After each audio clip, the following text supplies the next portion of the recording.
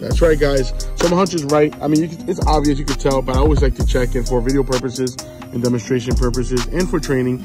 I want to demonstrate you guys, you know. Louie, Louie, Louie, Louie, Louie, Louie, Louie, Louie. Oh, I'm the boy. All right, mi gente, so we're troubleshooting right now. So I was mentioning to the video prior that my hunch is a capacitor.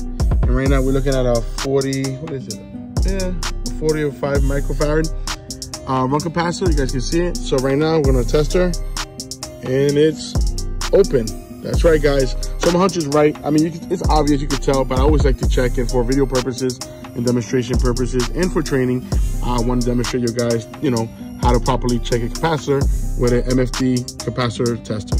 So guys, the next thing is I noticed there's a, a burnt wire right here.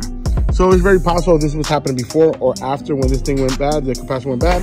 So you wanna repair the wire, put everything back together, and of course we got the proper capacitor here, as you guys can see, to install. And hopefully it's just a capacitor, because sometimes you put the capacitor in and it could be more than just a capacitor. So just cross our fingers that it's just a capacitor. Stay tuned. Louie, Louie, Louie, Louie, Louie, Louie, Louie, Louie. Oh, I'm the. Oh.